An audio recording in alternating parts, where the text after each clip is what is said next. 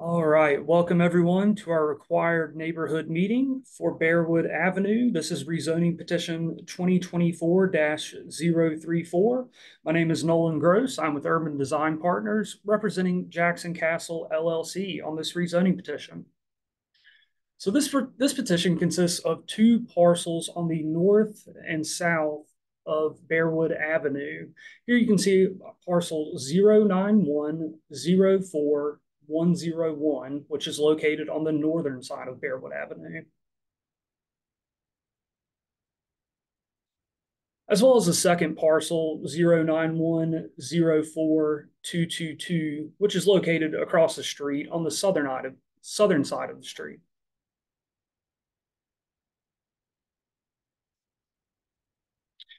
Here you have an aerial showing the 0.37 acres located on the northern and southern sides of Bearwood Avenue, east of East Sugar Creek Road to the northeast of North Davidson Street and north of Redwood Avenue.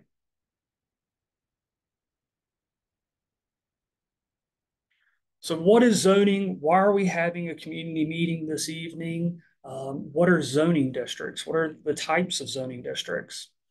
Zoning is a city's method of classifying land by usage.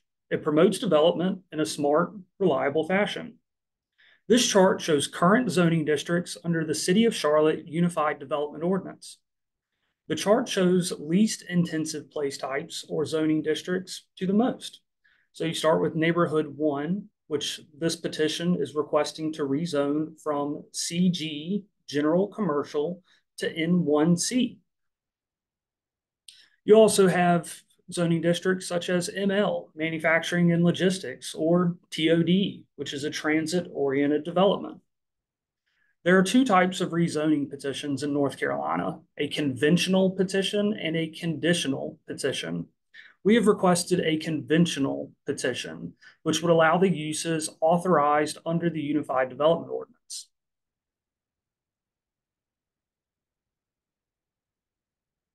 A few other background and planning related items. The first being the Charlotte Unified Development Ordinance.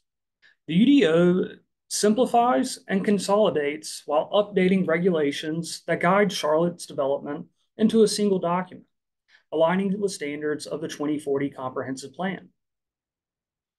The Charlotte, Charlotte 2040 Comprehensive Plan, uh, which is a policy document. It's a living document and a framework that's meant to guide cities' decision makers and investment in the near and long term.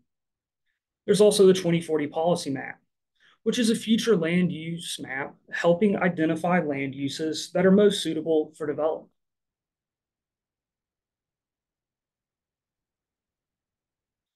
Here's a current zoning district map in the city of Charlotte.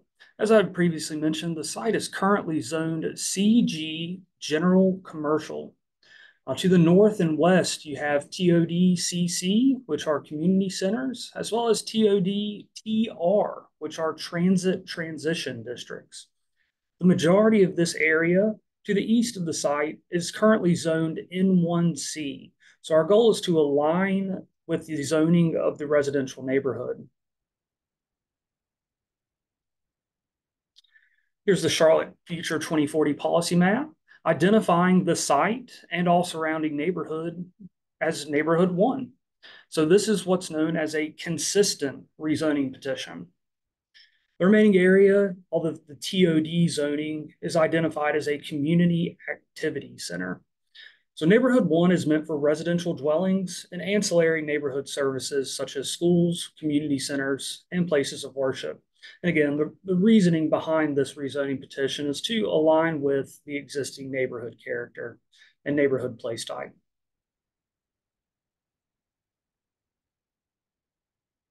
Here's a tentative timeline for rezoning petition 2024-034. This evening, April 30th, 2024, we're having our required community meeting. We're anticipating going before the zoning committee and city council for a public hearing on June 17th, followed by a recommendation from the zoning committee on July 2nd, with an ultimate city council decision date of August 19th, 2024. Now, these dates are subject to change pending any necessary deferrals. The city of Charlotte will send out two mailed notices prior to the public hearing, uh, informing all surrounding property owners of that date and time. If you have any questions about this rezoning petition, feel free to reach out to me. I can be contacted via email at ngroce at urbandesignpartners.com or by phone at 704 334 3303. Thank you for joining us, watching this recording of our community meeting. Hope you have a great week. Stay safe and take care.